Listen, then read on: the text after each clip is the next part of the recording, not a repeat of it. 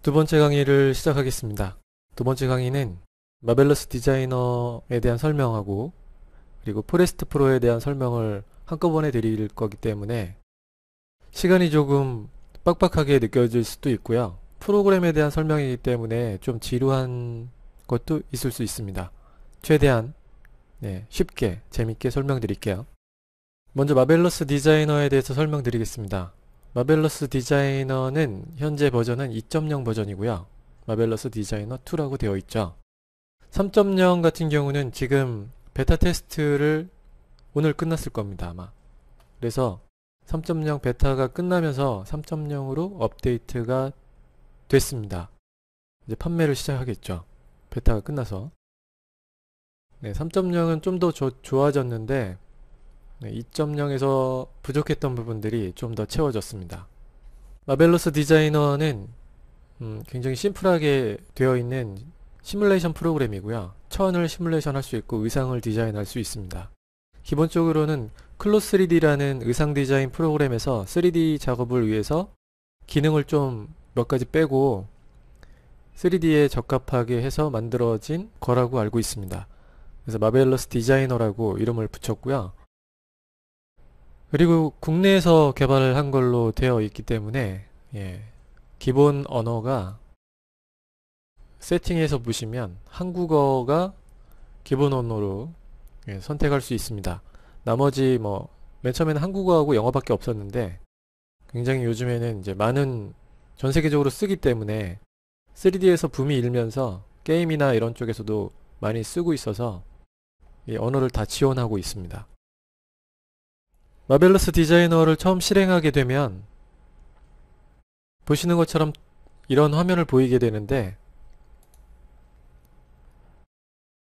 이 화면에서 보시면 세팅에 있는 언어를 이용해서 한번 세팅을 하시면 한국어로 다 바꿔서 볼 수 있습니다.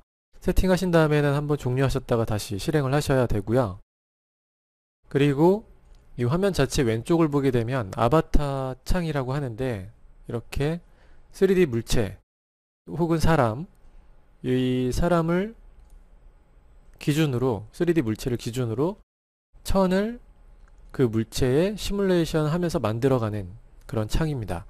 그래서 왼쪽은 아바타 창이고 아바타 창을 조정하는 아이콘들이 있습니다. 오른쪽은 패턴 창이라고 하는데 음, 말 그대로 천의 형태를 만들어주는 곳입니다. 그래서 패턴이라고 하고요. 패턴 창을 조정하는 아이콘들이 위쪽에 있습니다. 그리고 천이기 때문에 천의 속성을 조정하는 부분이 필요한데 천의 속성을 조정하는 부분이 오른쪽에 있습니다. 그래서 property editor 그리고 fabric이나 basic 부분이 있습니다. 기본 옵션들이랑 천에 대한 속성을 조정하는 부분 이렇게 있습니다. 그리고 물체들의 개수에 따라서 물체 이름이나 뭐 여러 가지를 볼 수 있는 그 부분들이 위에 object browser에 이렇게 있습니다. 이런 것들을 조정해서 이제 작업을 하게 되는데 맨 위쪽에 보게 되면 pull-down 메뉴가 있습니다. 메뉴 이 메뉴에서 원하는 것들을 선택해서 사용할 수 있고 저희가 사용할 거는 뭐 전체를 다 사용할 게 아니기 때문에 저희가 필요한 것만 알고 사용하시면 됩니다. 네, 전체를 다 알기에는 너무 시간이 빡빡하죠. 이것도 하나의 프로그램이기 때문에 저희는 저희가 필요한 것 위주로 배우고 그것만 좀 능숙하게 사용하는 게 프로그램을 접할 때 가장 좀 편하게 사용할 수 있는 방법이니까 제가 설명드리는 것만 잘 기억하시면 쉽게 마벨러스 디자이너에 대해서 마치 내 것처럼 사용할 수 있을 겁니다. 제가 생각하기로는 하루 정도만 계속 만져보시면 감이 금방 잡히실 거예요. 이 프로그램이 워낙 간단하고 심플하기 때문에 그리고 아이디어만 있으면 원하는 패턴을 만들어서 원하는 것들을 쉽게 표현할 수 있습니다. 그리고 3D Max하고 이 object를 호환시키면서 작업을 할 수 있는데 여기 보이시면 왼쪽에 아바타 창에 사람이 보이실 거예요. 이 사람을 아바타라고 하는데 3D Max에서 3D 물체를 가져오게 되면 그것도 역시 아바타라고 합니다. 여기 지금 천이 보이시죠? 예, 천. 왼쪽 아바타 창에서 천을 선택하면 오른쪽에서도 해당하는 패턴이 선택됩니다. 어떤 패턴이 이렇게 형태가 바뀌었는지를 알 수 있게 되죠. 이렇게 클릭하면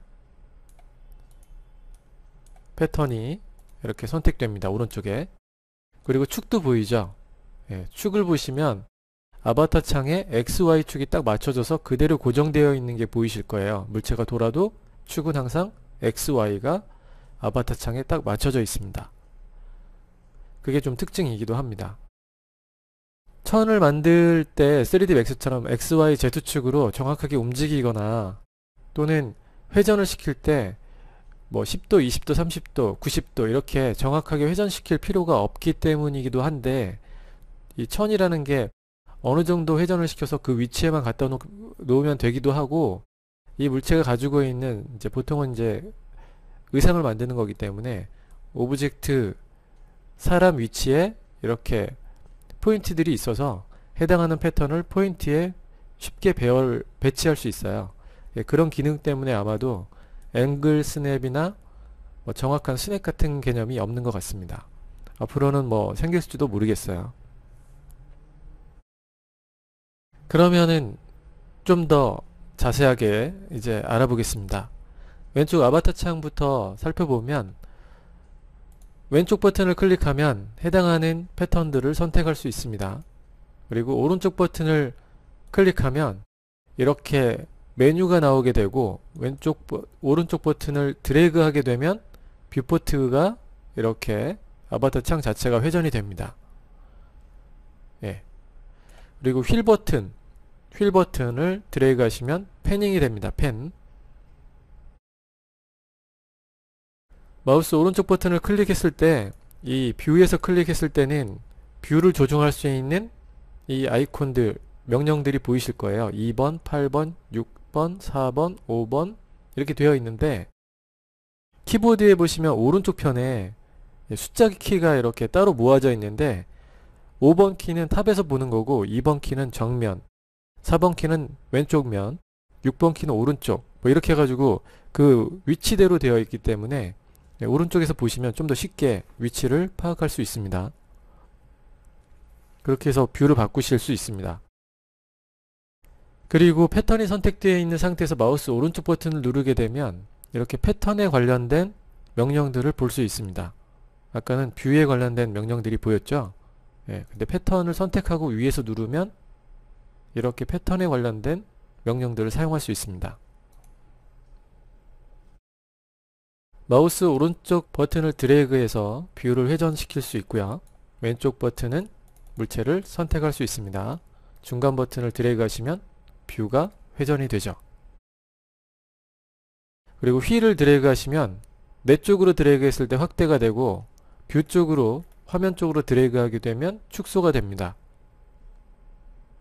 네, 이게 Max랑 조금 틀린 부분이기도 한데 네, 그게 좀 익숙하신 분들은 거꾸로 되고 있, 는것 같은 느낌도 드실 거예요.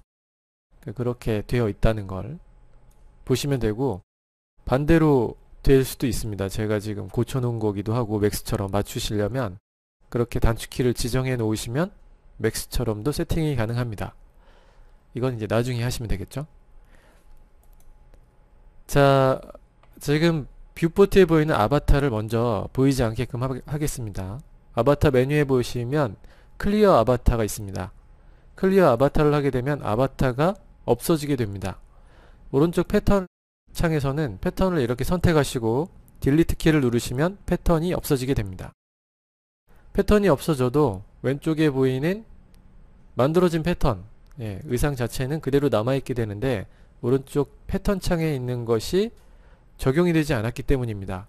이때는 동기화 버튼 위에 보시면 이렇게 화살표로 되어 있는 이 동기화 버튼을 누르셔야지만 오른쪽에 패턴이 없어진 게 적용이 됩니다. 이건 control D키도 똑같은 예, 단축키를 사용할 수 있습니다. 싱크 이렇게 하시면 동기화가 되면서 왼쪽에 있는 패턴이 사라지게 됩니다. 네, 이렇게 사라지죠. 동기화 버튼은 control D키 이용해서 하시면 됩니다. 오른쪽에서 패턴을 하나 만들어 보겠습니다. 패턴 창도 역시 마찬가지로 확대 축소를 마우스 휠 버튼으로 하시면 되고요. 그리드가 이렇게 보이기 때문에 그리드를 이용해서 어느 정도의 크기를 만들어 주시면 됩니다. 패턴이 만들어져도 왼쪽에는 보이지 않게 되는데 컨트롤 D 키로 동기화를 실행시키시면 패턴이 보이게 됩니다. 위 왼쪽에 패턴이 이렇게 들어오게 되면 마우스로 클릭한 부분에 파란색 점이 생기는데 이걸 핀이라고 합니다. 핀. 핀이라고 하고 핀은 이 패턴의 위치를 파악할 때 오른쪽 이 엣지 네, 패턴의 오른쪽 엣지를 이쪽이구나 이렇게 파악할 수 있을 때 있도록 해주는 겁니다. 만약 회전이 되어 있다면 그럴 때를 대비해서 막 이렇게 회전이 되어 있으면 좀 파악하기가 힘들어지니까 뷰가 여기를 클릭했을 때 포인트가 여기 생기면 아 이쪽은 아랫부분이구나 라고 볼 수 있는 거죠. 이걸 핀이라고 합니다.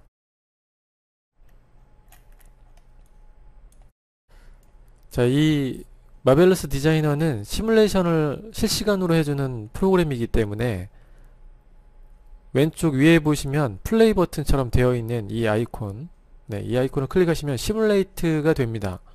이 simulate는 스페이스바를 누르시면 똑같은 실행을 하게 되는데 스페이스바를 누르면 바로 천이 아래쪽으로 떨어져서 이렇게 바닥에 놓이게 됩니다. 이렇게 바닥에 놓이는 거 네, 여기까지가 할 수 있게 되는 거죠. 천 같은 경우이기 때문에 이 천은 시뮬레이션을 계속하고 있습니다. 플레이가 되고 있으면 이렇게 들어 올리면 실시간으로 마우스의 위치에 따라서 들어 올려집니다. 흔들면 흔들려지죠. 굉장히 빨리 시뮬레이션이 되기 때문에 3D Max로 넘겨서 작업을 할 때 굉장히 편하죠. 어떤 형태를 만들 때도 편하고요. 네, 간단한 형태는 이렇게 할 수 있습니다. 이게 이제 기본 원리입니다. 패턴의 기본 원리 그리고 Marvelous Designer의 기본 원리입니다. 스페이스바로 플레이 버튼을 끄고 오른쪽에 지금 패턴이 선택되어 있는데 delete 키를 누르면 지워집니다. 동기화 버튼은 지금 선택되어 있기 때문에 계속 동기화가 되고 있죠. 오른쪽 패턴을 먼저 설명해 드릴게요. 패턴에 보시면 아이콘 모양이 이렇게 되어 있는 예, 다각형 형태로 되어 있는 이 아이콘은 말 그대로 다각형을 3D Max에서 라인을 그리듯이 그릴 수 있습니다. 클릭, 클릭, 클릭, 클릭 첫 점에서 클릭하면 닫힙니다. 왼쪽에 아바타 창에 닫혀진 패턴이 보이실 거예요. 포인트를 찍어보면 위치를 확인할 수 있다고 했죠. 네, 이렇게 됩니다. 그리고 다시 한번 다각형을 만들어 볼게요. 클릭하고 Shift 키를 누르시면 각 45도 방향 쪽으로 선을 만들 수 있습니다. 직선 그리고 또 한 번 그리고 또 한번 네, 이렇게 해서 거의 직선을 만들 수 있게 됩니다. 이렇게 닫아주면 되는 거죠. 네, 이렇게 할 수 있는 거고요. 만들다가 취소하고 싶으실 경우에는 백스페이스 바 엔터키 위에 있는 왼쪽 화살표야 백스페이스 바를 누르시면 이렇게 클릭했던 점을 한 번씩 취소할 수 있습니다. 다시 그릴 수도 있죠. ESC 누르시면 만들기, 그리기가 취소됩니다. 패턴을 선택하고 지울 때는 여기 화살표로 되어 있는 에디 패턴 아이콘을 이용해서 드래그해서 선택하고 딜리트 키로 지우시면 됩니다. 다각형을 그릴 때고 오른쪽에 있는 건 사각형 형태의 패턴을 만들 때입니다. 사각형 그리고 원형의 패턴을 만들 때입니다. 이렇게 만들어지죠. 스페이스바를 누르면 시뮬레이션이 된다고 말씀드렸죠. 스페이스바를 누르면 자동으로 중력값에 의해서 바닥으로 떨어져서 주름을 만들게 됩니다.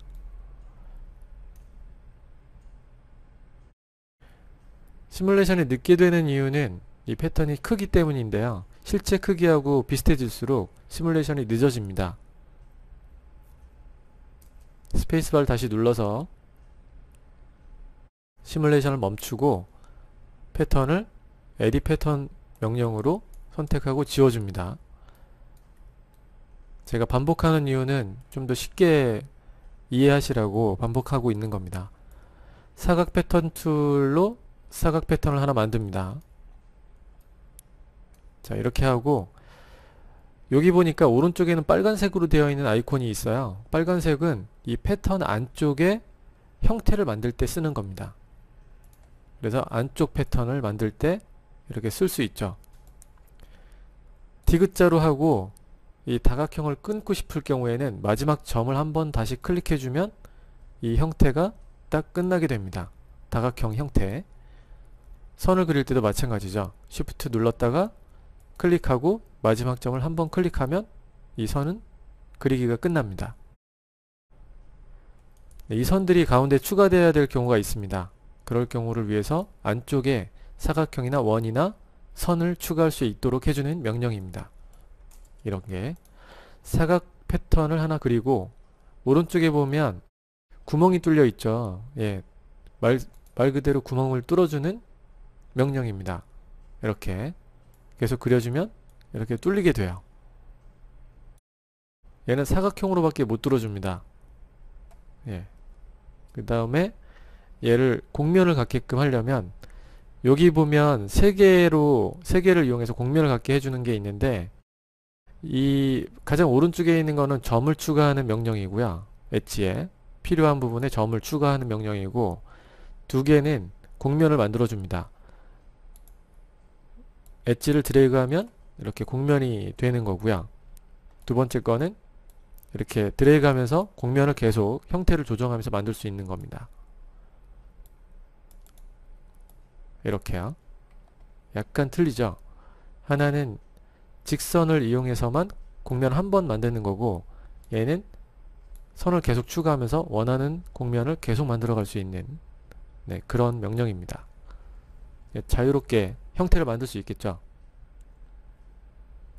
edit pattern 툴로 패턴을 선택하고 지워줍니다. 이번에는 패턴을 두 개를 만들어 볼게요. 패턴을 만들고 똑같은 패턴을 만들 때는 컨트롤 C 복사, 컨트롤 V 붙이기 이렇게 하시면 바로 옆에 붙여 놓으면 바로 옆에 생깁니다. 네, 복사해서 붙여 놓을 수 있죠. 이 패턴을 한번 가운데 예, 여기 엣지하고 여기 엣지하고를 연결하고 싶어서 보통 천을 연결할 때는 재봉을 해서 연결하잖아요.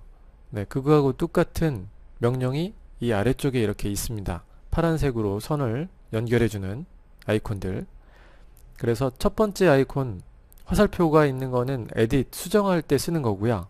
여기 화살표들은 다 수정할 때 쓰는 거고 화살표가 없는 거 재봉선을 만들어 줍니다. 이게 선택을 해 보시면 여기 조그만한 선이 하나 나오는데 방향을 나타냅니다. 아래쪽으로 마우스가 가게 되면 아래쪽으로 방향이 나타나고 위쪽으로 가게 되면 위쪽이 방향이 나타납니다. 클릭하면 한번 기억하고 오른쪽으로 갔을 때 방향이 또 맞춰져야지만 똑바로 연결됩니다. 아래쪽으로 가게 되면 이렇게 꼬이는 게 보이시죠? 예, 꼬이지 않게끔 연결해주면 재봉선이 이렇게 아바타 창에 보이게 됩니다. 이렇게 되면 잘 제대로 된 거죠. 스페이스바를 누르면 자동으로 붙으면서 아래로 떨어집니다. 핀을 이용해서 이렇게 들어 올리면 들어 올려집니다. 마우스로 한번 드래그 한 거죠. 핀을 만들면서 위로 올린 겁니다. 다시 떨어지겠죠?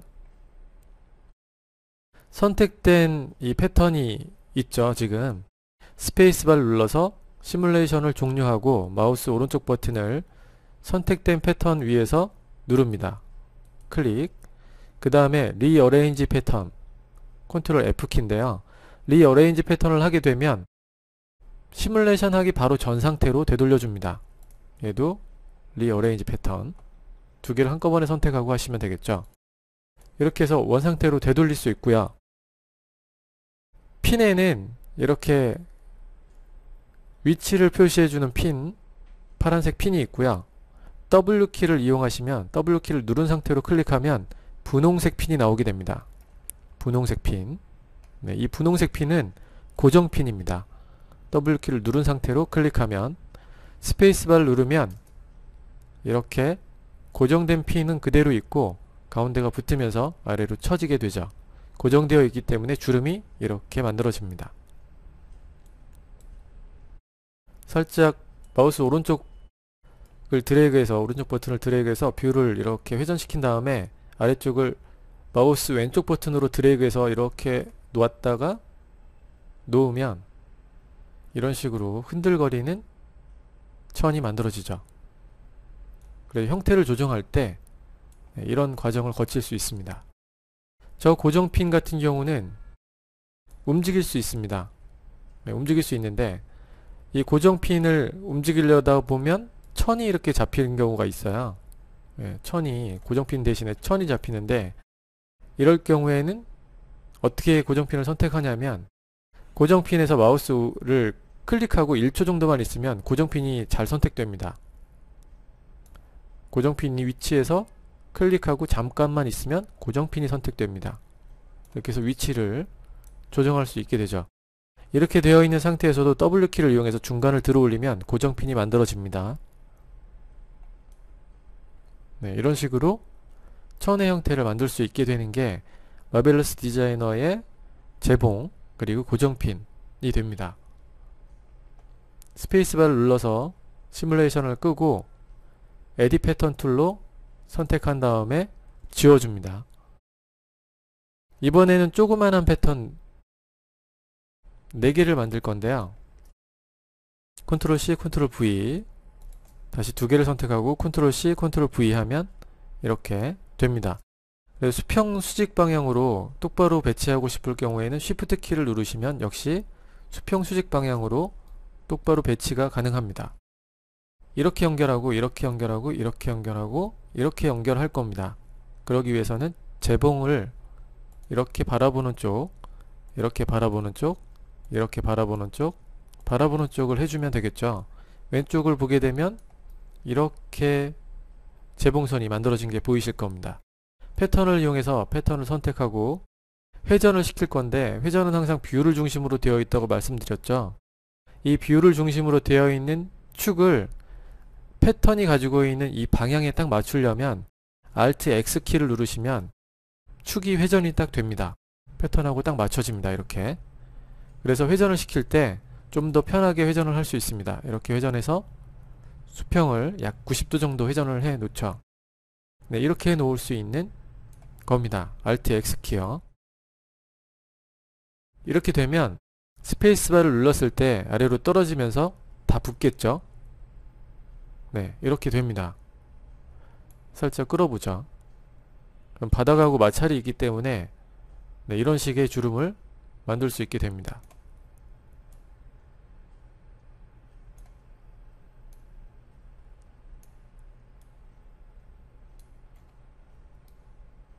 이렇게 주름이 만들어지죠.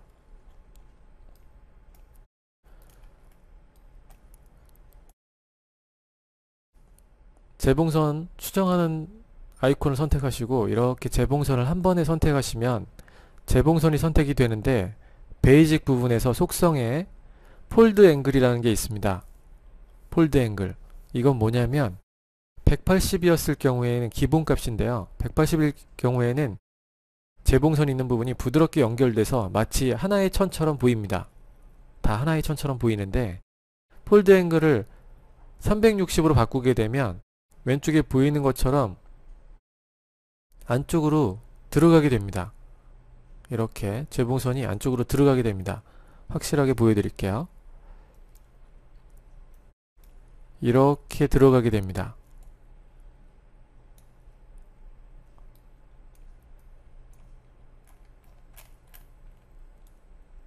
이렇게요.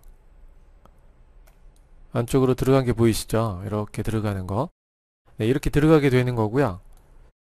폴드 앵글이 0일 경우에는 바깥쪽으로 뾰족하게 튀어나오게 됩니다. 이렇게요.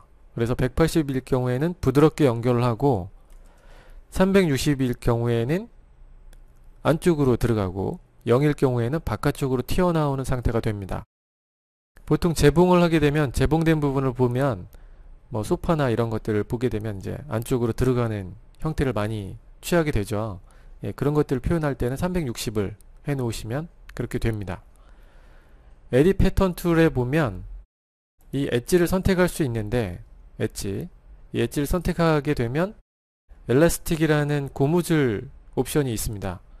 고무줄 효과를 내기 위해서 모든 이 부딪히는 부분에 엣지가 선택된 부분은 노란색으로 보이죠. 이렇게 쉬프트를 이용해서 여러 개의 엣지를 선택할 수 있습니다. 쉬프트 그래서 지금 이쪽에 여기만 제가 선택을 했고요. 여기만 고무줄 효과를 지금 오프로 되어 있는데 선택해서 온으로 바꿔줍니다. 그럼 여기가 고무줄 효과가 만들어집니다. 값을 좀 더 크게 해서 확인해 보죠.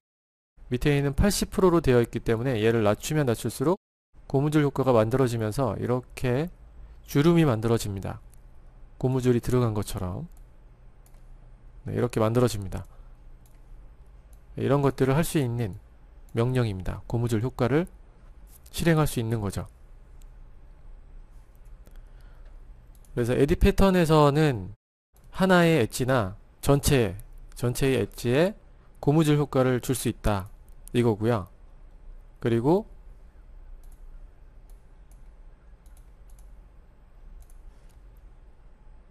박음질, 재봉선에서는 재봉선을 한 번에 선택하고 재봉된 부분이 안쪽으로 움푹하게 들어가게 하거나 뾰족하게 튀어나오게 할 수 있다. 이게 있습니다. 두 개의 특징이 좀 있죠. 네, 이런 것만 좀 잘 알고 계시면 될 것 같습니다. 이제 조종하에서 형태를 만들 때 좀 도움이 될 만한 팁을 드리겠습니다. 선택하고 지우고 패턴을 하나 만듭니다. 사각 패턴. Control C, Control V를 하게 되면 옆에 새로운 패턴을 만들 수 있는데 Shift 키를 누르면 네, 똑바로 만들 수 있습니다. 이번엔 두 개를 붙여 볼 건데요. 두 개를 붙일 때는 재봉을 할 때 이렇게 마주 보는 거 그리고 여기하고 여기가 마주 보죠. 여기하고 여기가 마주 봅니다. 이렇게 오른쪽에 있는 패턴은 반대로 되어 있어야 마주 보게 됩니다. 왜 그러냐면 천이라는 게 앞면이 있고 뒷면이 있는데요. 아바타 창에서 보게 되면 이쪽은 밝은 색으로 되어 있고 뒤쪽은 약간 어두운 색으로 되어 있습니다. 그래서 앞면과 뒷면이 존재하는데 뒷면은 뒷면하고 앞면하고 붙이는 게 아니라 뒷면은 뒷면끼리 붙여야 됩니다. 그래서 원래는 회전을 해서 이렇게 180도 회전을 해서 뒤쪽으로 가져다 놔야지 패턴이 이렇게 보게 되는 거죠. 바깥쪽 면, 바깥쪽 면. 네. 이렇게 만들어야지만 제대로 시뮬레이션이 됩니다. 스페이스바를 눌렀을 때 제대로 되는데 만약에 거꾸로 될 경우에 거꾸로 될 경우에는 어떻게 되는지 보여드릴게요.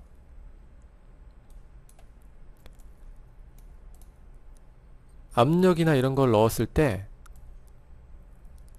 압력이나 그런 걸 넣었을 때 문제가 생깁니다. 패턴을 이렇게 선택하고 지금 재봉선을 선택하고 다 지웠고요. 재봉을 똑같은 방향 쪽으로 해보겠습니다. 이렇게 아, 이쪽이 틀렸네요. 이렇게 이렇게 똑같은 방향 쪽으로 하게 되면 같은 면을 보지만 앞면은 이쪽 이 뒤에 있는 것도 앞면이 이쪽이기 때문에 문제가 됩니다. 하늘로 날아가 버립니다. 스페이스바를 눌렀을 때 이렇게 가만히 있는데 여기에 패브릭의 속성에서 압력값을 주게 되면 하늘로 날아갑니다. 풍선도 아닌 것이 이렇게 날아갑니다. 찾을 수가 없어요. 네. 그렇게 되는 그래서 앞면과 뒷면이 굉장히 중요합니다. 어? 왔네? 네, 이렇게 됩니다. 선택하고 지워줍니다. 이번에는 제가 쿠션을 만들어 볼 건데 사각 패턴을 하나 만들고 Control C, Control V를 할 겁니다. 복사하고 재봉을 네, 앞면과 뒷면을 잘 구분해서 뒷면끼리 붙이기 위해서 이렇게 해줍니다. 좀 더 쉽게 하기 위해서 패턴 선택, 오른쪽 패턴 선택하고 그대로 왼쪽으로 이동시킵니다. 그대로 똑같은 면 그리고 뒤쪽으로 이동시킵니다. 그럼 이렇게 꼬여 있는데 좌우가 이렇게 꼬여 있죠. 그래서 마우스 오른쪽 버튼 선택된 패턴에서 오른쪽 버튼 누르시고 플립을 시키면 이렇게 정확하게 연결이 됩니다. 그래서 회전시켜서 위치시키는 것보다는 바로 똑바로 맞추고 뒤로 약간 빼서 플립을 시키면 더 빨리 된다는 거죠. 얘는 이제 쿠션이 될 건데 그냥 이대로 떨어뜨리면 바로 바닥에 떨어지게 됩니다. 근데 여기에 이 안에다가 바람을 넣게 되면 패브릭에 아래쪽으로 쭉 내리면 압력값이라는 게 있습니다. ETC 위에 이 압력값을 조금만 주게 되면 이 안에 바람이 들어가면서 이렇게 차올라 옵니다. 그래서 쿠션이 만들어지죠. 예, 기술이 필요 없습니다. 재봉만 잘 해놓으면 쿠션이 만들어집니다. 이번에는 지금 선택되고 있는 이 테두리에 주름을 좀 더 만들어 보겠습니다. 베이직 부분에서 주름, 예, 고무줄 효과를 ON으로 시키고 보면 이렇게 되는 거죠. 주름이 이 경계 부분에 다 만들어집니다. 아래쪽을 보게 되면 바닥에 이렇게 붙어있는 상태가 그대로 되어 있죠. 네, 이렇게 된 겁니다. 압력을 좀 더 넣어 볼게요. 패브릭에서 지금 압력값이 9로 되어 있는데 살짝 더 올려서 14 27 좀씩 좀씩 계속 올라가죠. 네, 이렇게 만들 수 있는 게 압력입니다. 압력 이 정도 해놓고 확대를 이렇게 해서 보면 지금 이 주름이 굉장히 거칠게 보이실 거예요. 이 거친 이유는 패턴이 가지고 있는 해상도 때문인데요. 이 천의 해상도죠. Alt 4번 키를 누르면 삼각면이 이렇게 보입니다. 삼각면이 이렇게 크기 때문에 주름이 깨끗하게 나오지 않는 건데 이 삼각면을 줄이면 좀 더 디테일하고 깨끗하게 나오겠죠. 그래서 3D 맥스로 넘길 때 이 삼각면의 크기를 줄이는 작업을 한 다음에 3D Max로 넘기게 됩니다. 그게 어딨냐면 basic 부분에 보면 이 삼각면의 크기 particle distance가 지금은 20으로 기본값으로 되어 있는데 20으로 된 거를 제가 15로 낮춰 볼게요. 그럼 삼각면이 작아지면서 형태도 살짝 바뀌죠. 주름 형태도 바뀝니다. 10으로 바꿔 보겠습니다. 10으로 바꾸면 좀 더 디테일한 주름들이 만들어지면서 삼각면이 굉장히 작아집니다. Alt 4번 키가 이 삼각면을 볼 수 있는 그 단축키고요. Alt 2번 키를 누르면 원래 상태로 볼 수 있습니다. 자, 3D Max로 넘기기 위해서는 particle distance를 6 정도 사용하시면 좋은데 6이요. 그럼 굉장히 디테일하지만 주름을 제대로 표현할 수 있고 6을 했을 경우에 이대로 바로 6으로 바꾼 다음에 가져가면 지금 보시는 것처럼 약간 계산이 덜 된 상태로 가져가게 됩니다. 그래서 6이 됐을 경우에는 시뮬레이션이 되고 있기 때문에 이 6이라는 수치에 의한 주름을 제대로 표현할 수 있게끔 시간을 좀 더 기다리시는 게 필요합니다. 시간을 좀 더 기다리면 더 디테일하고 예쁜 이 형태가 만들어집니다. 여러분은 좀 더 기다리셔야겠죠. 네. 몇 분은 기다리, 기다려서 형태가 바뀌는 걸 보신 다음에 넘기시면 됩니다. 저는 여기서 스페이스바를 누르고 Max로 넘겨 보겠습니다. Max로 넘길 때는 파일에서 export object 파일로 넘길 수 있습니다. Marvelous Designer에서 넘길 때 저장할 때는 OBJ 파일 형태로 저장을 하게 되고 Max에서 Marvelous Designer로 넘길 때도 역시 OBJ 파일 형태로만 가져올 수 있습니다.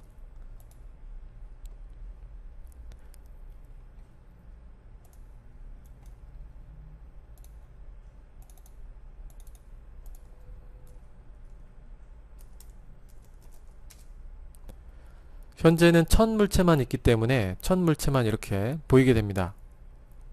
오케이 하고 저장합니다. 3D Max에서 가져올 때는 import 하고 아까 그 폴더에서 가져오면 되겠죠. obj 파일 형태를 가져옵니다. 기본값으로 import 하시면 그대로 가져오게 됩니다. 이렇게요. F3번 키로 shading 상태를 보게 되면 이렇게 보이겠죠.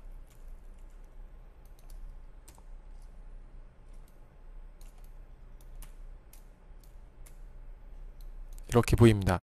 그래서 저희가 만들었던 형태가 그대로 오게 되는 거죠. 이렇게 부드러운 쿠션이 오게 됩니다. 딱 가져오고 보니까 아까, 아까 조정해야 될 것 중에 조정이 안 한 게 있는 것 같아요. 이쪽으로 이렇게 박음질 자국이 싹 들어가게 하면 더 예쁠 것 같은데 그래서 그 부분을 한번 해보겠습니다. 재봉, 재봉선 수정 선택하고 fold angle이 있었죠. fold angle을 360으로 바꿉니다. 스페이스바 그럼 이렇게 들어가는 부분이 보이실 거예요. 그죠? 네. 이렇게 안쪽으로 들어가는 상태 여러분 시간을 좀 가지시면서 이제 처음에 물체를 넘길 때 예, 그런 걸 생각해서 작업을 하시면 됩니다. 스페이스바로 이 정도에서 멈추고 export object 파일 똑같은 형태로 저장하겠습니다. 오케이 하고 3D Max에서도 임포트로 가져올게요. 네, 똑같은 물체가 있기 때문에 이렇게 가져옵니다. 새로 가져온 물체를 보게 되면 여기 움푹하게 들어간 부분이 보이시죠? 네, 이렇게 보이게 됩니다. 아래쪽은 이렇게 바닥에 닿아 있었기 때문에 이런 형태가 되죠. 네, 이런 겁니다.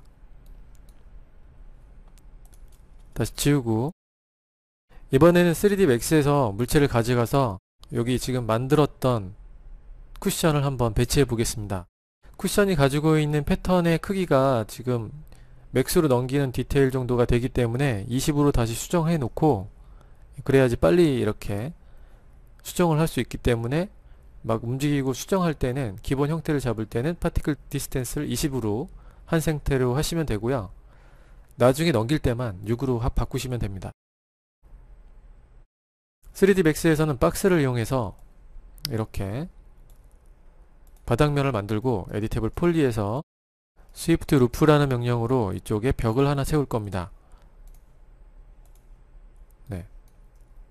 여기를 extrude로 위로 올리죠. 크기가 좀 작은 것 같아서 옆으로 좀 더 키우겠습니다. 이쪽도 살짝 키우고 네, 이런 벽면을 만들었는데 이 벽에다가 조금 전에 만들었던 쿠션을 구겨서 이렇게 가져와 보겠습니다. 그러기 위해서는 알아야 할 것이 있습니다. 알아야 할 거는 그리드를 보이지 않게 하고 물체를 보게 되면 front에서 보이는 front의 그리드 예, 여기 front view에 그리드가 이렇게 있는데 이게 마벨러스에 보이는 이 그리드하고 똑같습니다. 패턴 창의 그리드 패턴 창에 보이는 이 뷰가 3D Max의 프론트 뷰에 보이는 이 뷰랑 똑같습니다. 그래서 여기서 보이는 이 박스 형태가 이 박스 형태 front view에 보이는 이 박스 형태들이 마벨러스 디자이너의 패턴 창에 보이게 됩니다.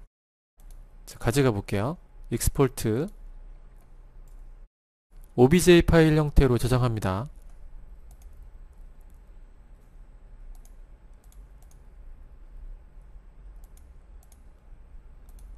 똑같은 폴더에다 저장을 할게요.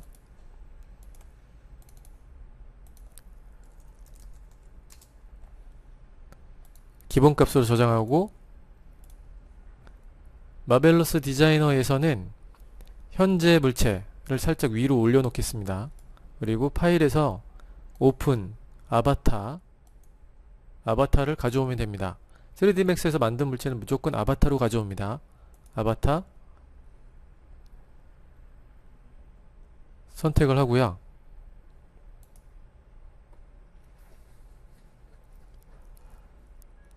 조금 전에 그 폴더에서 가져오겠습니다. 벽면을 그대로 가져옵니다. 그대로 가져오게 되면 이렇게 가져오게 되는데 실제 크기에 맞춰서 가져와야 되기 때문에 여기 보면 굉장히 작죠? 네, 다시 가져올게요. 사이즈를 키워서 네, 이 정도 크기로 가져가겠습니다. export 똑같은 물체로 저장하고 실제 사이즈로 가져오시는 게 중요합니다. 오픈할 때 아바타로 오픈합니다. 네, 이렇게 가져와졌네요. 이렇게 돼야 제대로 이제 시뮬레이션을 할 수 있는데 지금 두 개의 패턴이 선택되어 있죠. 이렇게 네, 이걸 회전시켜서 이쪽으로도 살짝 회전시키죠. 이렇게요. 그리고 위치를 이렇게 놓고 바닥에 거의 가깝게 내립니다. 시뮬레이션이 떨어지는 동안에 너무 많이 떨어지면 안 되니까 그 다음에 스페이스바를 누르면 시뮬레이션이 되면서 벽면에 이렇게 부딪히게 됩니다. 벽면에 부딪히면서 주름이 만들어지죠. 자연스럽게 벽에 이렇게 예, 부딪혀 있는 형태를 만들 수 있습니다. 이때 particle distance를 6으로 고치고 시뮬레이션을 더 시킵니다.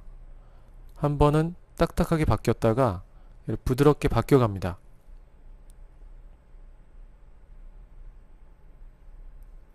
여러분은 좀 더 기다리시고 저는 여기까지만 하고 조금씩 바뀌어가지고 계속 스페이스바 파일에서 export를 다시 합니다. object 파일 형태로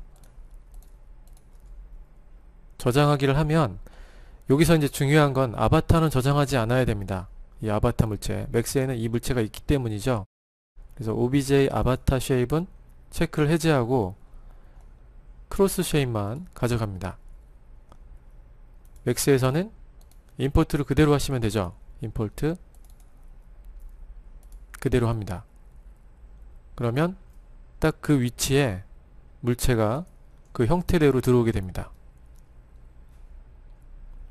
굉장히 디테일하게 들어오죠. 이런 걸 모델링 하려면 굉장히 힘들기 때문에 이 정도로 들어오면 사람들이 봤을 때 렌더링 했을 때 어, 진짜라고 생각을 하게 됩니다. 점점 이 cloth 이 cloth 같은 경우는 사람들이 가장 가짜라고 느끼는 부분이기도 해요. 장면에서 건축이나 인테리어나 뭐 기타 작업에서 똑같습니다. 그래서 이걸 해결해주는 사람들의 눈을 탁 진짜로 보게 하는 그런 역할을 하는 매우 중요한 요소입니다. 이렇게 해서 저장해 놓을 수 있죠. 세이브해서 테스트 저장을 하겠습니다.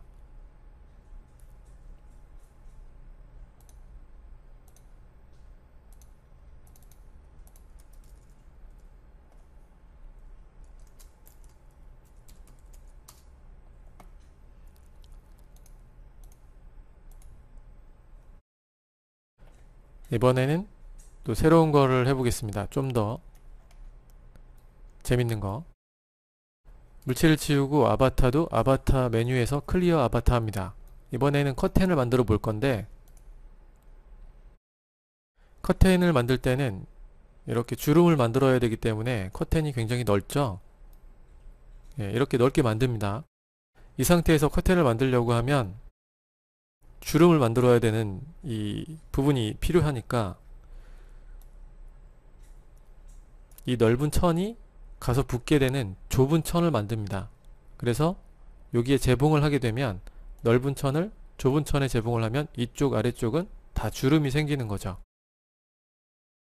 edit pattern에서 왼쪽 위에 있는 패턴 조그마한 걸 선택하고 freeze를 시키는데 마우스 오른쪽 버튼을 패턴 위에서 누르신 다음에 freeze, freeze pattern, pattern only 하시면 이 freeze된 물체는 시뮬레이션에서 영향을 받지 않습니다. 그래서 스페이스바를 누르게 되면 밑에 있는 패턴이 가서 붙으면서 주름을 만들게 됩니다.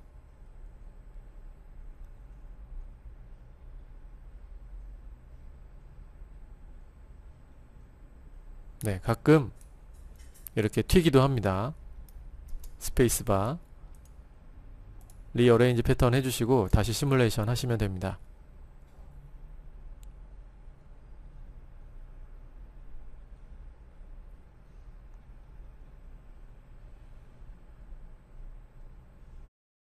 예, 저는 그냥 아무렇지 않게 지금 딱 설명하고 넘어갔는데 rearrange pattern 하시고 시뮬레이션을 다시 하시면 됩니다.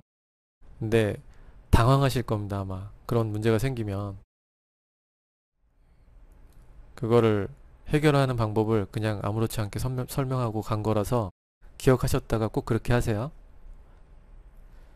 이렇게 되면 커튼처럼 주름을 만들게 됩니다.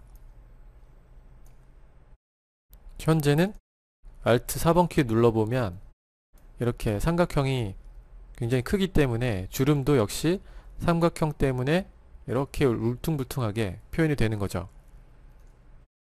Alt 2번 키로 다시 원래대로 보이게 하고 최종으로 3D 맥스로 넘기기 위해서는 밑에 있는 패턴 네, 밑에 있는 패턴의 particle distance를 수정을 하고 더 작게 수정하라고 했죠. 예. 이렇게 실제 크기처럼 커튼 같은 경우는 6까지 내릴 필요는 없고요. 8 정도까지만 내려서 3D 맥스로 넘기시면 시간이나 뭐 여러가지 문제에서 괜찮습니다. 한 번은 약간 딱딱해졌다가 예, 각이 막 생겼다가 부드럽게 시뮬레이션이 됩니다. 이런 이제 좀 큰 물체 같은 경우는 시간이 좀 더 필요하기 때문에 여러분은 좀 시간을 더 가지셔야 됩니다. 전 여기까지만 하고 스페이스바 눌러서 시뮬레이션을 멈췄습니다. 시뮬레이션이 멈추면 굉장히 빨리 돌아가요. 그리고 3D Max로 넘길 때 위에 있는 패턴은 필요 없는 패턴이기 때문에 delete로 지우시면 아래에 있는 패턴만 가져갈 수 있습니다. 그게 훨씬 좋겠죠. 파일에서 export object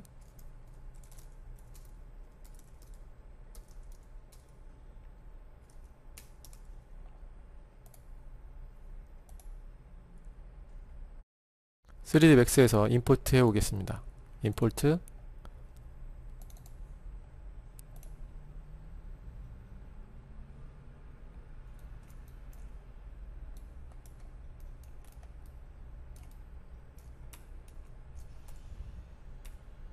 네, 이런 식으로 만들어진 천이 들어오게 됩니다.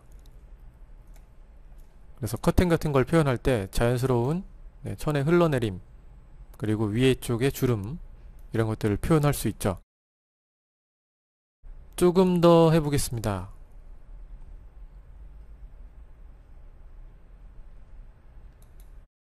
위에 있는 패턴을 그대로 놔두고요. 아래에 있는 패턴 이 파티클 디스텐스를 여러분 빨리 보시라고 좀 더 크게 할게요 25로 조정한 다음에 이 커튼을 들어 올리는 경우가 있습니다 들어 올리는 경우. 그래서 들어 올릴 때는 안쪽에 선이 하나 필요한데 빨간색으로 되어 있는 아이콘을 이용하면 안쪽에 선을 만들 수 있습니다. 클릭하고 이렇게 기울어지게 클릭해서 마지막 점에서 다시 한번 클릭해주면 선 그리기가 종료됩니다. 이 선에 고무줄을 넣으면 고무줄을 넣게 되면 시뮬레이션 했을 때 여기에 이렇게 선이 생깁니다. 고무줄 자국이죠. 아주 약하기 때문에 그런데요. 밑에 80을 0까지 내리겠습니다. 그러면 이 부분이 고무줄이 딱 들어가면서 이렇게 딱 당기게 됩니다. 이걸 좀 더 당기기 위해서는 위에 있는 수치가 최대로 지금 조정된 건데 여기 수치를 더 높은 값을 입력하면 0을 하나 더 줄게요 0을 하나 더 주면 이렇게 확 당기면서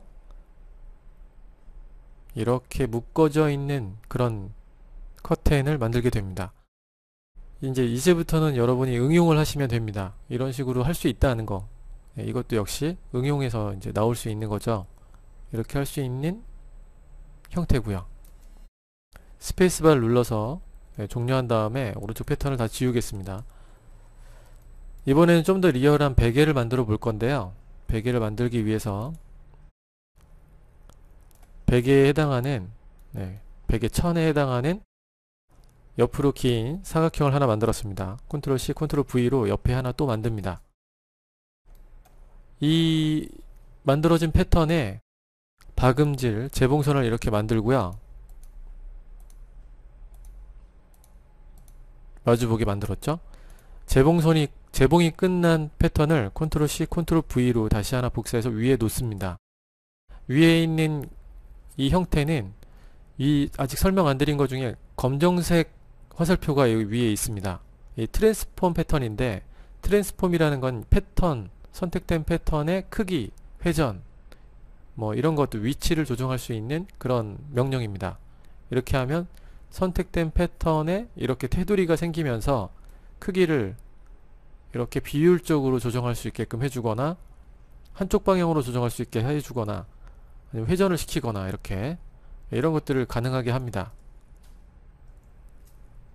네, 그런 것들을 조정하는 것이 여기 트랜스폼 패턴입니다. 약간 크기를 조정했고요. 이 크기 조정된 거를 이용해서 보통은 이제 바깥쪽에 베개 같은 경우는 안쪽에 부풀려진 네, 부드러운 뭐 깃털 같은 게 들어있는 네, 그런 속이 있고 겉에가 천으로 되어 있잖아요. 그래서 위에 있는 조그만 거는 안쪽에 들어있는 속이 되는 거고 바깥쪽에 있는 거는 말 그대로 그냥 천이 되는 겁니다. 그래야지 좀 더 리얼한 표현을 할 수 있기 때문이죠. 위에 있는 거에다가 작업을 먼저 해보죠. 이 위에 있는 패턴은 패브릭에서 아래쪽에 보게 되면 압력이 있었죠. 예, 압력을 15 정도 집어넣습니다. 그리고 아래에 있는 패턴 같은 경우는 fold angle을 재봉선에서 fold angle을 안쪽으로 박음질이 되게끔 360으로 조정합니다. 그 다음에 패턴 아래에 있는 패턴 같은 경우는 또 주름이 살짝 있으면 좋겠죠. 아주 미세하게 90 정도의 주름이 살짝 아주 살짝만 있게 하겠습니다. 자, 이렇게 되면 아래쪽 거는 겹치고 뒤쪽으로 이렇게 이동시켜서 살짝 벌린 다음에 마우스 오른쪽 버튼을 패턴 위에서 누르신 다음에 flip을 시킵니다. 위에 있는 패턴도 역시 이동을 시켜서 겹치게 하고 뒤쪽으로 살짝 빼서 마우스 오른쪽 버튼 이렇게 만듭니다. 두 개의 패턴 안쪽으로 들어갈 패턴을 선택하고 이번에는 아래쪽으로 이렇게 이 안쪽으로 집어넣겠습니다. 그리고 뒤로도 살짝 빼서 중앙에 놓이게 하죠. 얘는 이제 이 안쪽에서 바람을 만들어 줄 거기 때문이죠. 회전을 이렇게 해줍니다. 회전을 하고 스페이스바를 누르게 되면 당연히 안쪽에 있는 게 부풀어 오르면서 바깥쪽에 크기 때문에 물체가 들어있는 것 같은 베개를 표현할 겁니다.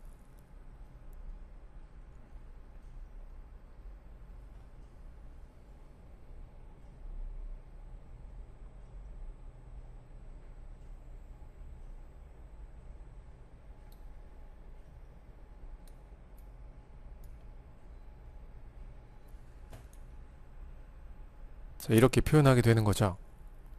마치 실제 베개처럼 이게 마음에 안 드신다고요? 그러면 위에 있는 거에 바람을 좀 더 넣습니다. 좀 더 위로 튀어나올 수 있게끔 좀 더 올라오겠죠? 네, 이런 식으로 만들어줍니다. 이렇게 만들고 보니까 양 끝에 날개 같은 게 붙으면 참 좋을 것 같아요. 그래서 스페이스바를 눌러서 끈 다음에 살짝 긴 패턴을 하나 만듭니다. 컨트롤 C, 컨트롤 V로 이 끝에도 만들어줍니다. 이 패턴은 이렇게 지금 세워져 있어요. 두 개의 패턴을 선택하고 회전을 시킵니다. 약간 밑으로 내려놓고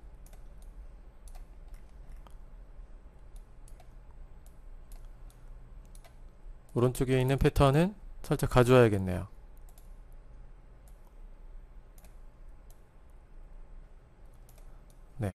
이렇게 되면 위치를 보시죠. 여기 패턴 그리고 여기 패턴의 위치 네, 위치가 잘 맞네요. 재봉을 여기서 여기로 해줍니다. 여기서 여기로 해줘야겠죠. 네, 이렇게 이쪽이 아니고 이쪽이죠. 바로 바로 옆에니까 이렇게 되면 얘가 들어가면서 날개가 되겠죠. 스페이스바 눌렀습니다.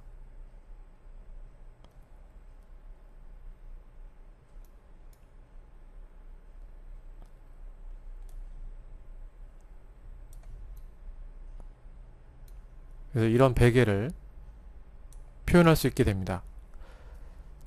스페이스바를 눌러서 이제 Max로 가져가기 위해서 이 안쪽에 있는 것도 부드러워야 밖에 있는 것도 부드럽게 표현이 됩니다. 그래서 모든 걸 선택하고 basic에 있는 particle distance를 8만큼만 하겠습니다.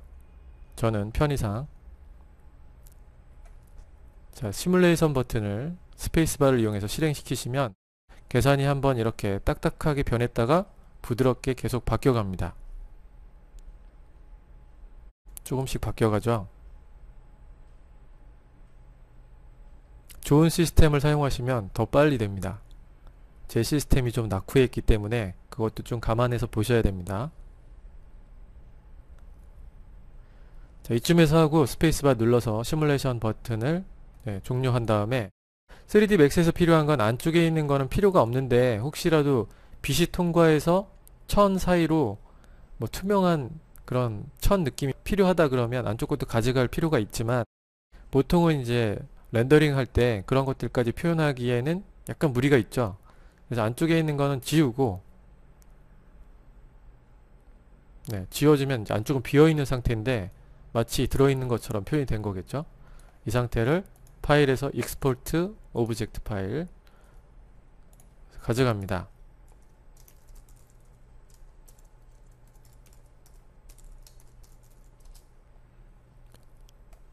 천밖에 없죠. 오케이 하고 3D Max에서 import를 가져오겠습니다. 리셋 임포트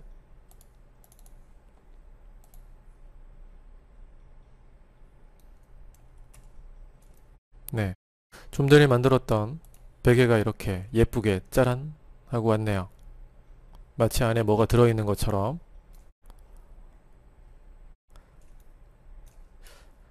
뭐더더 많은데 네, 더 많은데 그런 것들은 좀 진행되면서 더 필요한 것들을 설명해 드리도록 하고요. Marvelous Designer는 여기까지 설명을 해 드리겠습니다. 이번에는 Forest Pro에 대해서 설명해 드리겠습니다. 제가 장면에 아주 간단한 간단하면서 유명한 건축물을 하나 이렇게 만들어 놨고요. 금방 만든 건 아니고요. 그 다음에 오른쪽에는 나무 한 그루 확대를 해볼게요. 클로버 4개, 그 다음에 식물 이렇게 잔디가 있습니다. 이걸 이용해서 배치를 해보겠습니다. 가장 쉽게 배치하는 방법을 plane을 하나 만들고 지형이 필요하죠. 예, 이렇게 지형을 만들었습니다. 이렇게 빠를 수가 지형은 물체의 아랫면에 맞추겠습니다. 네, 아랫면에 딱 맞췄습니다. Forest를 사용하기 위해서는 꼭 필요한 게 있는데 spline이 필요합니다. spline. top에서 봤을 때 spline을 이용해서 여기에 나무가 심겨져야 된다. 그러면 spline을 어떻게 만들 것인지 나무는 어디에다 심어야 될 것인지를 결정을 해야 되는데 이것들을 spline으로 해놓으면 참 편하게 나무를 심을 수 있습니다. 일단 라인을 이용해서 이니셜 타입을 스무스로 해놓고 나무가 이렇게 주변에 지형 위에 심기게끔 하겠습니다. 일단 전체 크기만 생각하고 이렇게 막 그려줍니다. 네, 벗어나서 그려줘도 됩니다. 그려주고 그 다음에 길을 만들 건데요. 가운데서부터 이렇게 들어가는 길을 만들 겁니다. 뭘 건물 뒤쪽으로도 빠지는 길이 필요할 것 같아서 이렇게 만들었고요. 이 길 같은 경우는 선 하나만 있기 때문에 라인에서 spline을 두께를 주도록 하죠. 여기서 센터를 이용해서 outline을 이렇게 만들어 주었습니다. 그래서 이런 spline 두 개가 있습니다. 지금 기본적으로 spline이 이렇게 있어야 나무가 여기에 심겨지고 그 다음에 도로 부분은 나무가 심겨지지 않아야 되고 심어지지 않아야 되고 이런 게 있죠. 예, 그런 것들을 하기 위해서 이렇게 만들었습니다. 여러분들 그런 계획을 잘 세운 다음에 만드시면 되겠죠.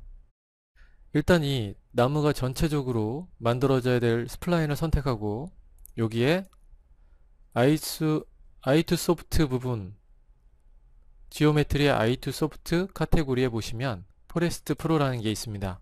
설치를 하시면 이렇게 생기죠. Forest Pro를 선을 클릭해주면 바로 선 위에 plane들이 생기게 됩니다.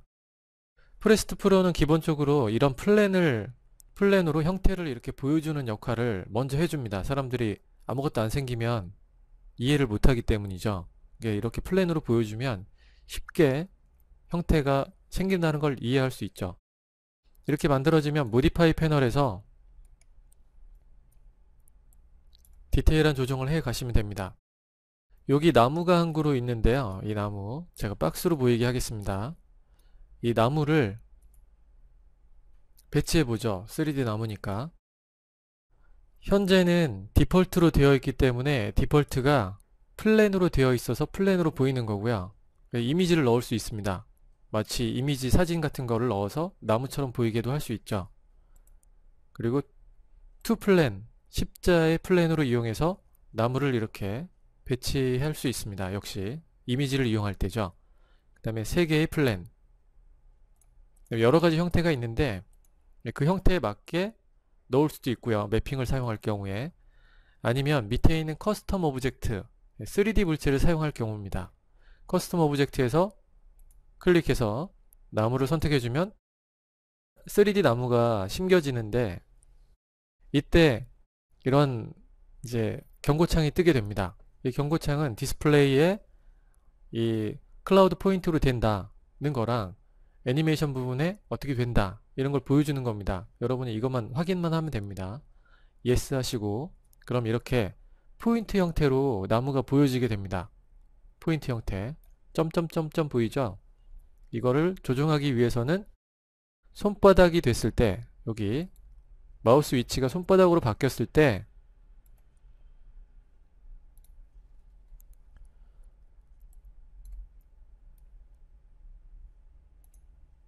손바닥으로 바뀌었을 때 마우스 오른쪽 버튼을 누르시고 디스플레이로 이동하시면 디스플레이 부분에 보시면 지금 point cloud로 되어 있습니다. 이 point cloud를 proxy로 바꾸시면 proxy 형태, 선택된 proxy 형태로 보이게 되는 거죠. 피라미드 형태, 아니면 박스 형태, 기타 등등 형태가 있습니다. 이렇게 바꿔보시면 나무를 쉽게 이렇게 심플하게 볼 수 있는 상태가 되는 거죠. 이렇게 해놓고 지금 보면 밑에 면에 만들어졌는데 지형이 이 위에 있습니다. 지형 지형 위에 나무가 놓여야 되죠. 그래서 지형 위에 놓기 위해서 밑에 있는 Forest Pro 이 나무를 손바닥이 나왔을 때 surface로 이동합니다. surface 그래서 지형을 선택해 줍니다. 플러스 버튼 지형 그럼 지형 위로 이렇게 올라오게 됩니다. 나무의 개수가 지금 굉장히 작아 보이는데 나무의 개수를 조정하기 위해서 surface를 닫고 개수를 조정하는 부분은 디, distribution map 이 부분에 보시면 이미지가 이렇게 보이게 되는데 이 이미지는 이미지 흰색 부분에 나무들이 배치가 됩니다. 이 흰색 부분들, 흰 점 위에 나무가 배치가 되는데 기본적으로 이런 이미지를 갖고 있어요. 이미지에 점이 적으면 점의 위치가 이렇게 넓게 퍼져 있기 때문에 나무도 몇 그루만 보이게 되고 점이 많으면 더 많이 보이고 위치에 따라서 이런 군집 형태를 만들 수 있기도 하고 더 조밀하면 더 많이 보입니다. 그 다음에 완전히 흰색이면 이렇게 보이죠. 엄청나네요. 네, 이렇게 보이는데 이 상태를 조정할 수 있습니다. 일단 길을 한번 뚫어보죠. 이 상태가 참 보기가 좋으니까요. 영역 부분을 보시면 area 부분에 지금 라인 001이 선택되어 있습니다. 나무가 심어져야 될 부분에 대한 spline이었죠. 처음에. 그리고 surface가 서, 선택되어 있죠. 길 부분을 선택합니다. 맨 왼쪽에 보면 플라인을 선택하는 옵션이 있습니다. 길을 선택하면 길도 그냥 기본으로는 나무를 심기 위한 그 공간으로 인식을 합니다. 왜냐하면 include가 되기 때문인데 지금 선택한 라인 002는 exclude를 시키게 되면 그 부분에는 나무가 없어지게 됩니다. 이렇게요. 길이 생겼죠. 네, 이렇게 할 수 있는 겁니다. 그래서 include, exclude를 이용해서 그 spline을 빼거나 플러스하거나 이렇게 할 수 있는 거죠.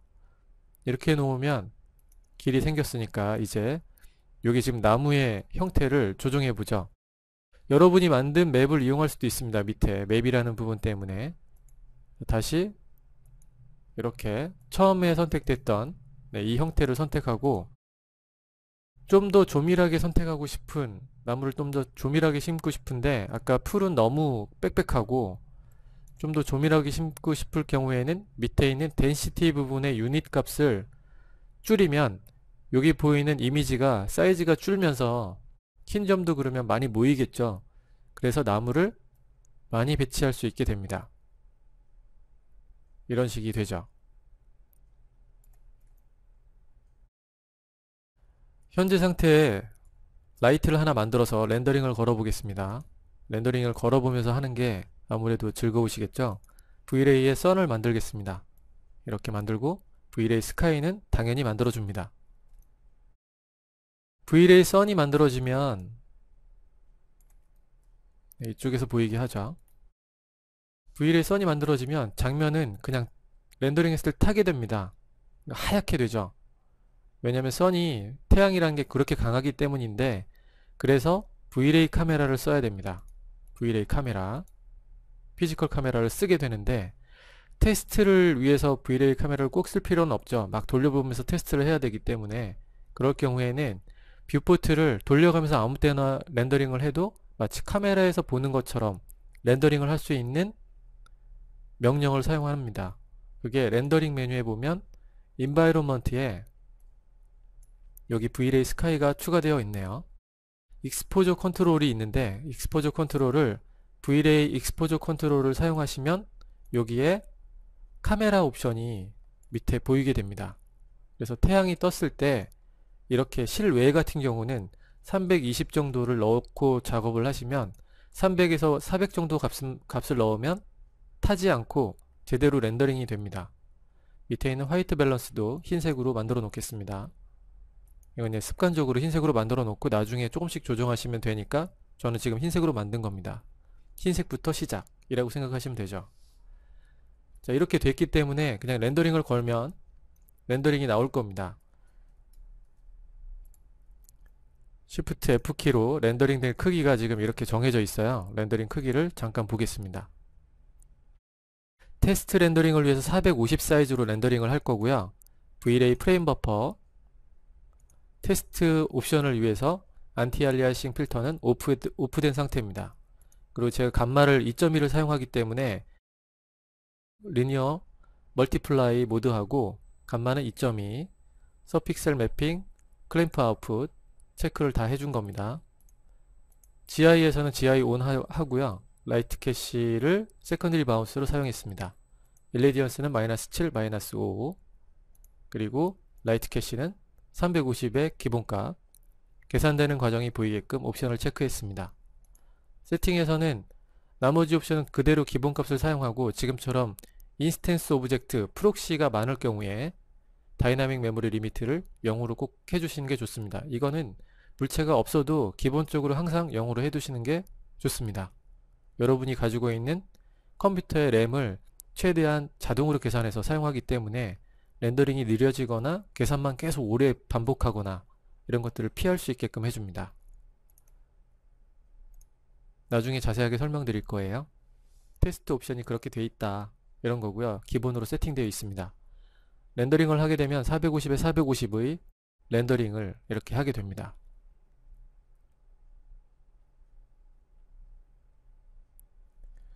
나무가 빽빽해도 너무 빽빽하네요. 그죠? 지금 제가 이 오브젝트 테두리에 V-Ray 툰을 사용하고 있기 때문에 테두리 이 라인이 나올 겁니다 아마. 건물에.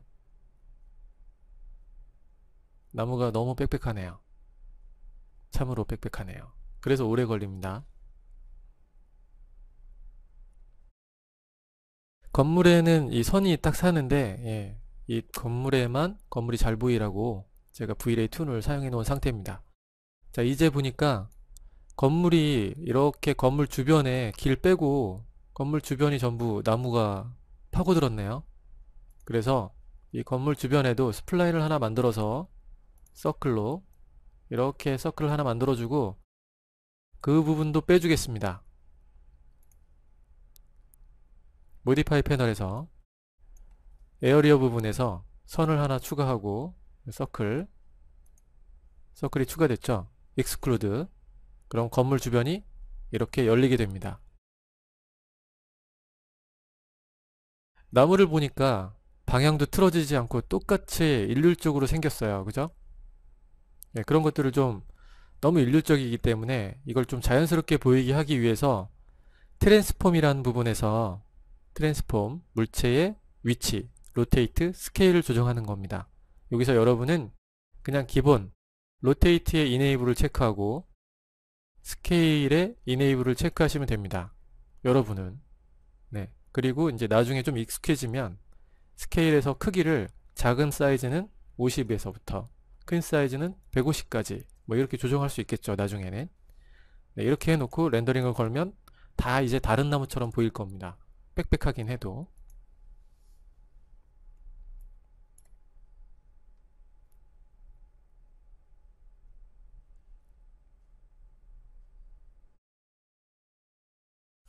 3D Max의 V-Ray는 V-Ray가 설치되어 있어서 렌더링을 할 때 V-Ray는 카메라에서 멀리 있으면 더 빨리 렌더링 합니다. 디테일이 떨어지기 때문에 더 빨리 렌더링을 하게 되는 거죠. 네, 물체 주변도 파고들지 않고 길도 잘 나 있고 한데 오브젝트들도 다 잘 회전되면서 크기도 들쑥날쑥한데 나무가 너무 많네요. 그래서 나무의 위치, 예, 그 크기를 조정하려고 하는데 이 개수들을 조밀도는 이 정도면 될 것 같고요. distribution map에서 map의 사이즈를 다시 키워주거나 그러면 너무 듬성해 줄 수도 있습니다. 키워주거나 가장 아래쪽에 보면 보통 나무들이 같은 위치에서 두 그루가 나지 않잖아요. 잔 가지들은 살짝 겹칠 수 있지만 대부분은 그루에서 그루 이렇게 좀 멀리 떨어져서 나는데 나무들의 충돌 체크를 enable로 해주시면 나무들의 가지고 나무가 갖고 있는 반지름에 의해서 나무가 서로 충돌하지 않고 만들어집니다. viewport에서 preview 하게끔 옵션을 체크하면 이 정도가 되는 겁니다. 나무가 굉장히 듬성듬성하네요. 여기서 반지름의 반지름을 100%로 사용하고 있기 때문에 서로 이렇게 다, 다 떨어져 있는 상태가 되는데 이 반지름을 50%나 60%로 조정하시면 조금은 이렇게 간섭을 하지만 그래도 좀 더 자연스러운 네, 그런 표현을 할 수 있습니다. 다시 한번 렌더링 걸어보죠.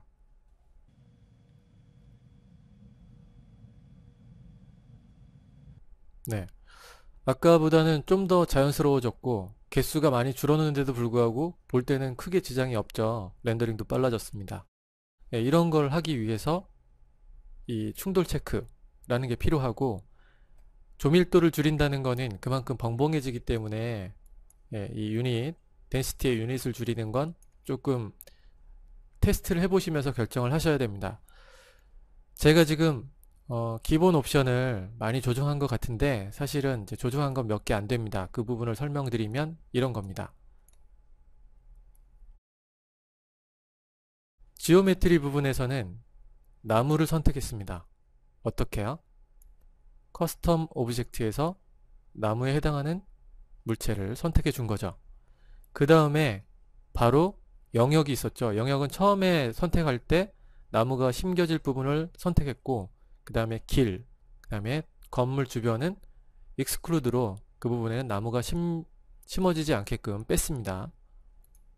그리고 distribution map에서 나무가 이렇게 배치될 그 이미지를 선택하고 밑에 나무의 이 조밀도를 조정한 다음에 가장 아래쪽에 충돌 체크를 해서 반지름을 60으로 고쳤는데 viewport에서 보이게끔 옵션을 체크한 거죠. 네, 이렇게 했습니다. 그 다음에 보면 바로 surface가 있죠. 물체 지형 위에 놔야 됐기 때문에 물체 지형을 선택한 상태가 됩니다. 이 지형은 매핑 좌표가 있어야지만 제대로 이 나무들이 배치가 됩니다.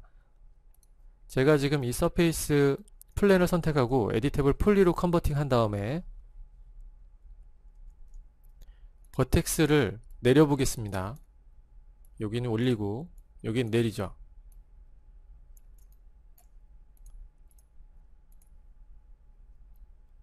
네.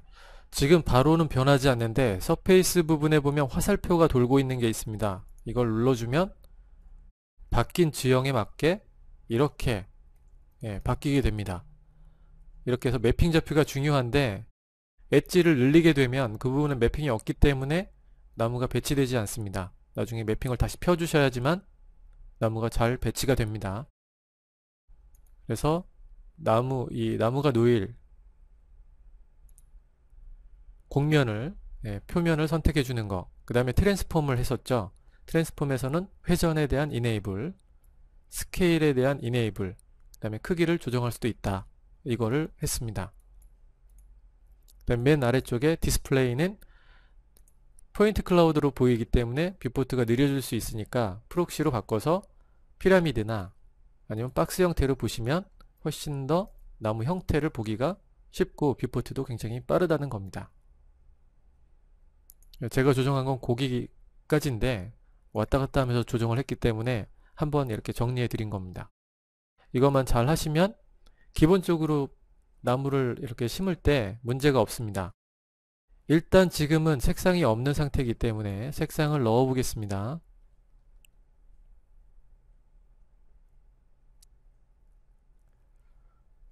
일단 render 옵션에서 제가 색상이 보이지 않게끔 했는데 render 옵션에서도 색상이 보이게 하고 그리고 나무가 갖고 있는 색상도 한번 보겠습니다. 여러분은 앞으로 그 slate material editor 창을 쓰실 건데요. 나중에 쓰실 때 좀 설명을 한 번 더 드릴게요.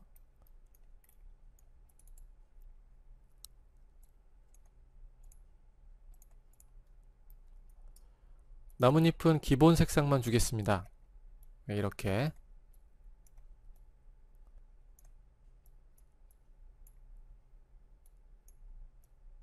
기본 색상을 하나 주고요. 이대로 사용할게요. 반사는 되지 않게끔 했습니다. 나머지도 그냥 회색 나무 줄기 회색을 갖게끔 하겠습니다. 렌더링이 좀 빨리 되게끔 하기 위해서 렌더 옵션에서는 제가 지금 흰색으로 되게끔 했기 때문에 오버라이드 매터리얼을 오프 시킨 다음에 보여드리겠습니다. 렌더링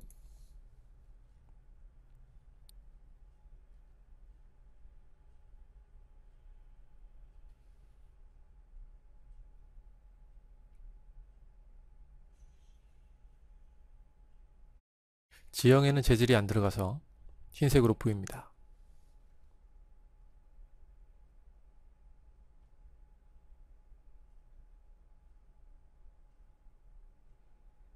네, 이렇게 보이네요. 예쁘게 더 렌더링 할 걸 그랬네요. 퍼스펙티브로 해서 이렇게 보면 더 좋았을걸. 네. 지형이 잘 보여야 되는데 지금 건축물이 너무 어둡게 나와서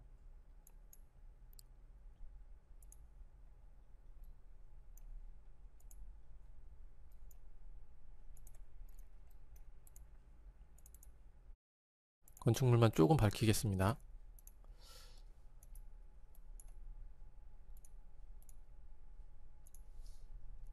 네. 이 상태로 테스트 해보고 색상을 조정해 보겠습니다.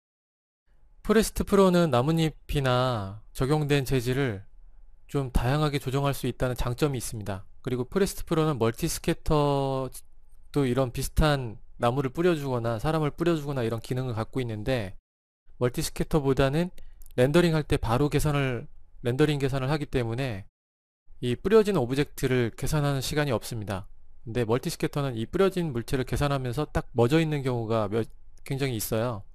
네, 그것 때문에 좀 더 뭐 최근 기술이라고 볼 수 있죠.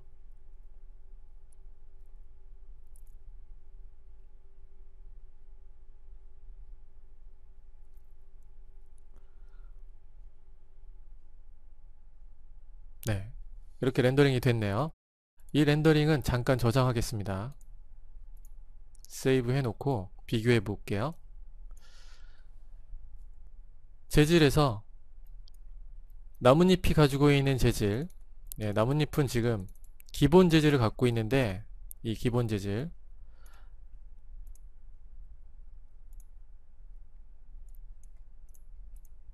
map에 보면 forest color라는 네, Forest Pro에 사용하는 forest color라는 map이 있습니다.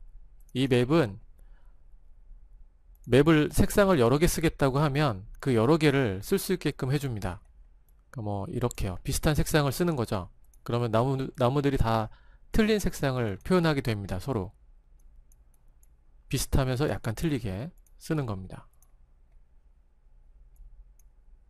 간간히 노란색도 좀 써주고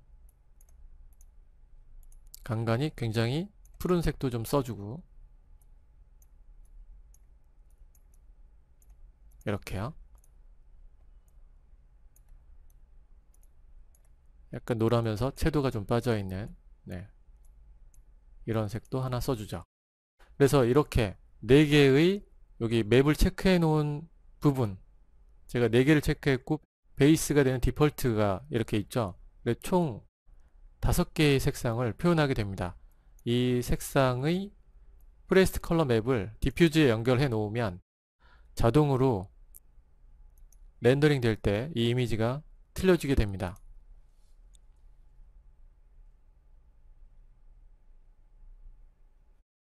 서로 다른 나무처럼 보이게 되죠.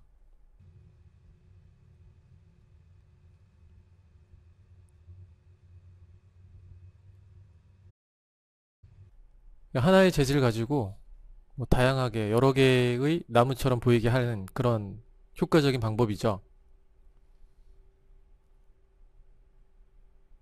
또 한 가지는 이 지금은 각각 나무마다 틀린 색을 가졌는데 이 나무 한 그루에서 나뭇잎이 가지고 있는 이런 여러 가지 색상들이 있잖아요. 그것들이 원래는 조금씩 다 다른데 지금처럼 한 그루마다 틀린 색이면 약간 어색해 보이는데 이것들을 이 나무 한 그루 안에서 색상이 막 틀린 것처럼 표현하고 싶을 경우에 예, 그럴 경우에는 지금 똑같은 이 재질에서 지금은 아이템으로 되어 있기 때문에 나무마다 이렇게 색상이 틀린 건데 엘리먼트로 해놓게 되면 엘리먼트로 해놓게 되면 나뭇잎마다 예, 틀린 형태의 이런 이 색상이 틀리게 막 적용이 되는 겁니다.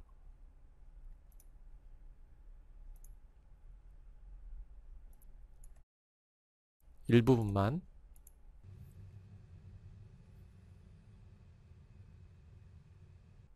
네 이렇게 해서 바뀌게 되는 건데요. 재질에 보면 밑에 tint라는 게 있습니다. tint tint에서 보면 tint에서도 역시 아이템으로 되어 있는 걸 element로 수정을 해줘야 위에 있는 색상들이 불규칙하게 나무 한 그루에 들어가게 됩니다. 지금은 똑같이 들어가 있는 상태인데 렌더링을 다시 해볼게요. 그럼 좀 더 자연스럽게 바뀌는 게 보이실 겁니다. 네, 이런 식으로 바뀌게 됩니다. 조정을 많이 해보시면 이 틴트는 오버라이드하고 같이 쓰는데 지금 보여줬던 색상에 굉장히 어두운 녹색 네, 이런 색상을 하나 추가하고 어둡게 또 하나는 굉장히 붉은색을 하나 추가할 겁니다. 이렇게요. 굉장히 강한 그래서 이렇게 색상을 추가한 다음에 오버라이드를 하게 되면 엘리먼트마다 색상들이 전부 달라지게 됩니다.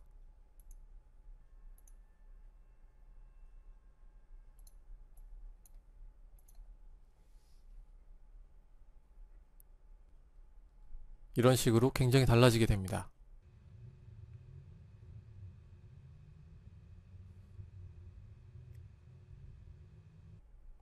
이렇게 된 거는 지금 오버라이드에 있는 랜덤 퍼센트가 100%로 되어 있기 때문인데요.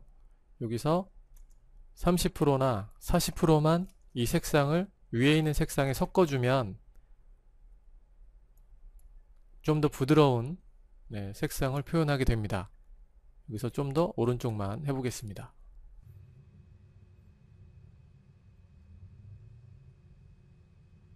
이렇게 색상이 좀 더 자연스럽게 표현이 되는 거죠. view를 좀 바꿔서 이렇게 나무가 좀 더 근접해 보이게끔 한 다음에 렌더링을 걸고 옵션에 대해서 잠깐 설명을 더 드릴게요.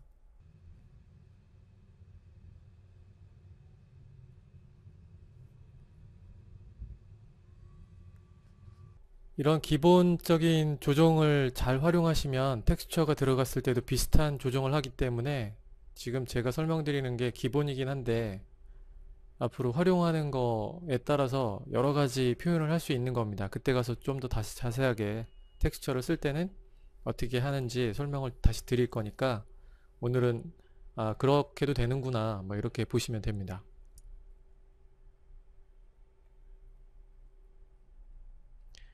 네, 이렇게 렌더링이 됐는데 특정 부분만 이렇게 해서 모드를 한번 바꿔 보겠습니다.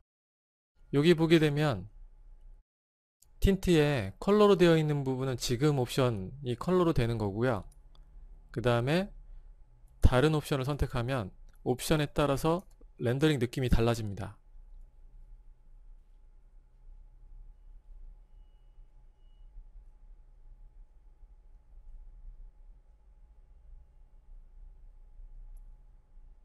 그 옆을 선택하고 그 다음 옵션을 선택해 보겠습니다.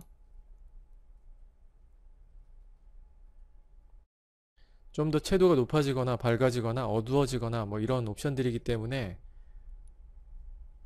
장면에 맞게 선택해서 사용하시면 됩니다. 그 다음에 좀 더 어둡게 만들기 위해서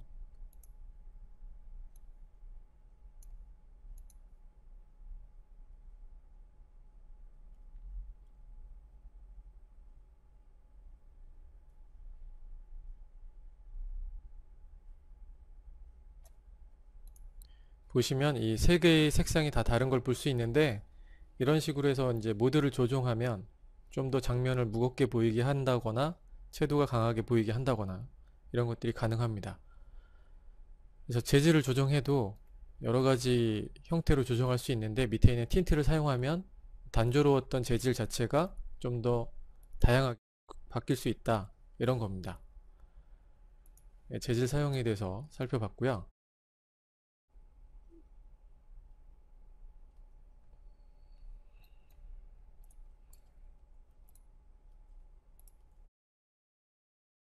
작업을 이제 하다 보면 라인에다가 나무를 뿌려야 할 경우도 있습니다. 그래서 그럴 경우를 잠깐 볼게요.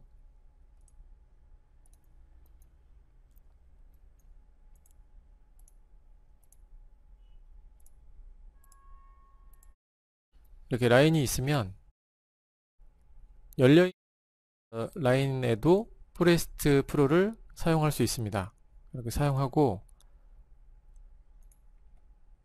modify 패널에서 앞에서 했던 거하고 똑같은 방식으로 현재 디폴트로 되어 있는 거를 custom object로 나무를 선택해 주면 나무가 심겨지게 됩니다. 지금 보이지 않는 거는 이제 사이즈 때문인데요. 디스플레이에서 proxy로 바꾸고 distribution map에서 사이즈를 density 사이즈를 조정해 줍니다. 이렇게 조정해 주면 되죠.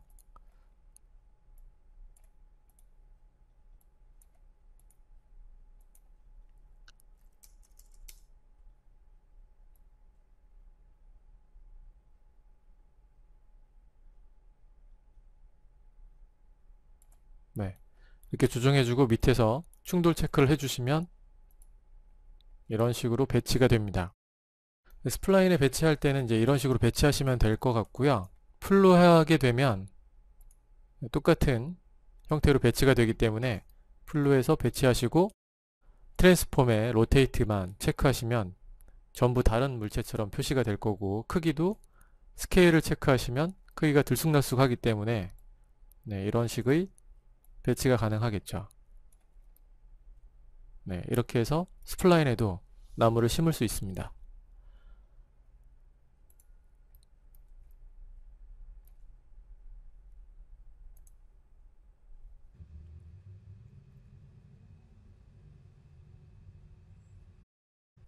오늘은 Forest Pro까지 살펴봤습니다.